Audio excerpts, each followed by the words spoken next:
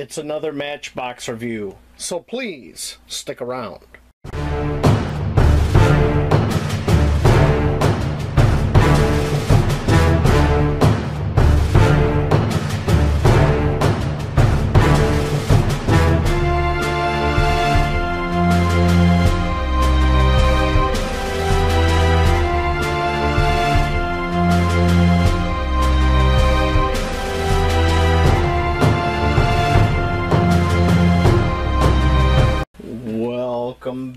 Back, everyone.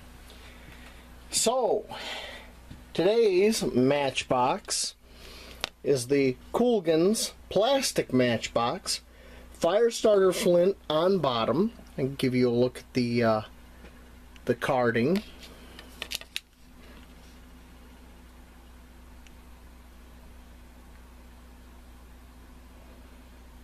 Okay. Let's get it off here. Now I have several of these already. Uh, you might have seen one or a similar one in my video on making a four season fire kit. Alright.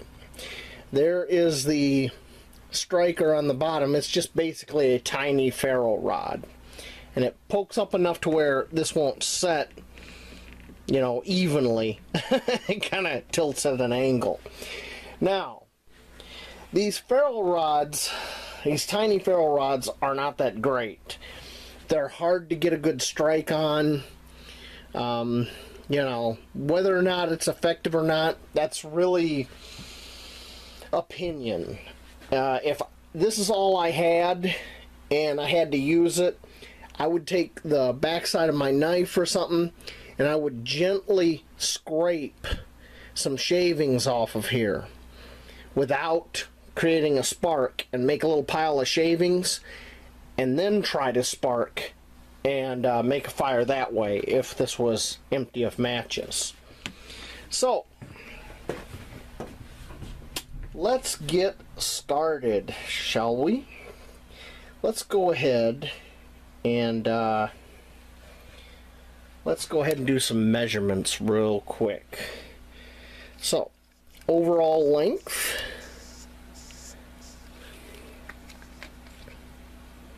That includes that protruding ferro rod is 3.0835 inches or 78.32 millimeters. Diameter of the main body is 26.09 millimeters or or 1.0270 inches. Okay. Now you've got molded in a very positive grip. You've got a flat rubber gasket right here that this compresses down on the threads are pretty fine. Um, you know, it is what it is. Now let's get the inside diameter. Inside diameter looks like 0.8095 of an inch or 20.56 millimeters. Let's do the depth. Depth is 69.86 millimeters of the main body or 2.7505 inches. Now with that, as you see with that screwed down on there, you have a little gap here in the top, but not a huge one.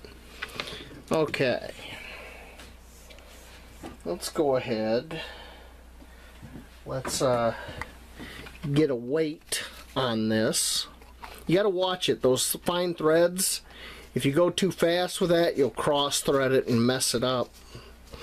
That's about my one big criticism with this. Alright.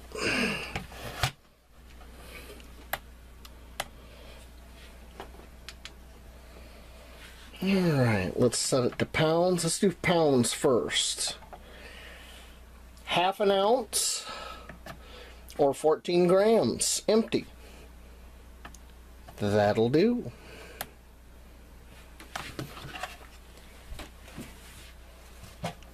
Alright.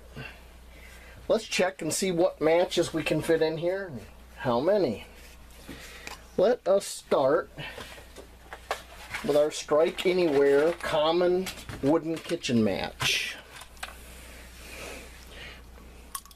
Oh yeah, they fit with a nice gap. See that? Let me load this up and leave enough room for a striker. And we'll see how many we can get in here. Probably a good amount by the looks of it. Okay. So we got a little bit of a gap there. I could probably fit a few more. Let's do that. Okay. There's still a gap there. You could fit a striker. So uh, let's see how many matches we got here.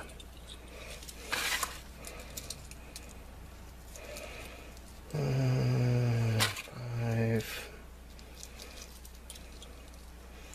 10, 15, about 22 matches.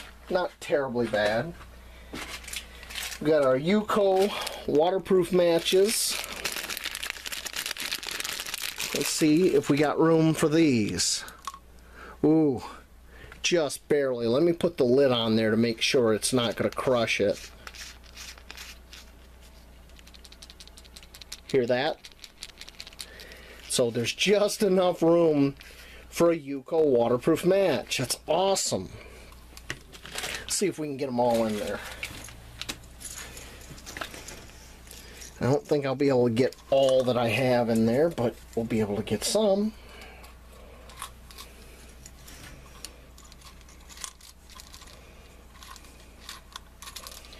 All right. All those and a striker pad. I could probably fit another match or two in there. And that works out to be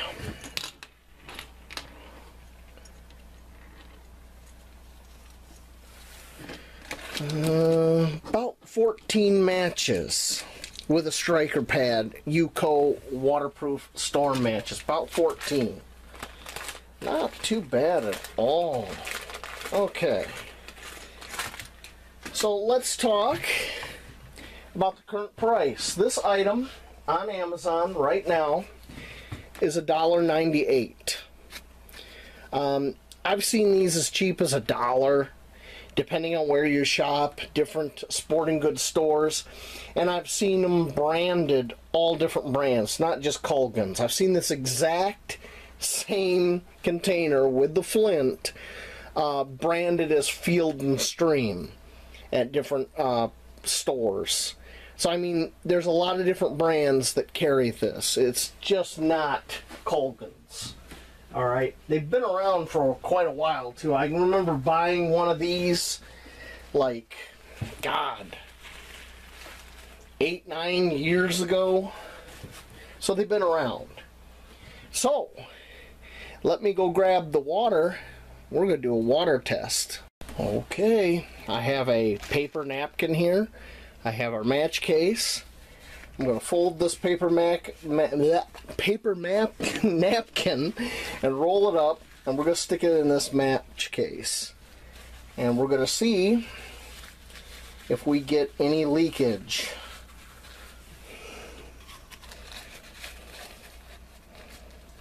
Okay, there's the paper napkin in there. Don't want to, there we go. And I'm going to crank down. I've cranked down pretty hard on that rubber seal. Now I'm pretty sure this is going to float. And yes, it floats. So we're going to give that a couple hours or more. And I'll bring you back and we'll see if we have any leakage. It's been a good two and a half hours. I'm ready to pull this out. Lightly dry it off we will see did it stay waterproof? Let's find out.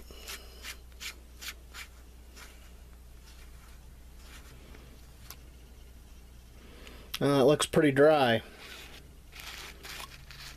Yep. Success. All right. Well, let me get things cleaned up here and uh, I'll bring you back for my final thoughts. Well, you know, it doesn't get much simpler than this. A real simple match case. Cheap, you know, right around two bucks on Amazon.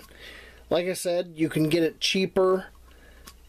I'm just drying off the gasket. There's a little bit of residual water around there. You can get it cheaper in stores than you can on Amazon. Like I said, I've seen this in different sporting goods stores. I've even seen them occasionally at Walmart. Really simple. Another reason why I wanted to pick one of these up is I read somewhere that these make great containers for an 18650 battery. Look at that. So I could seal up and keep it safe from the water and everything a charged 18650 battery. So I could change that out for my flashlight or whatever device I'm using out in the woods. So for two bucks, well worth it.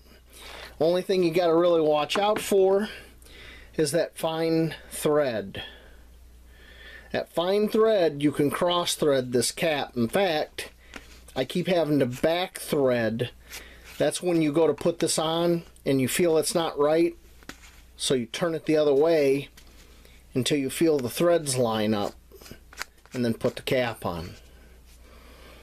That's about the only thing you can watch out for.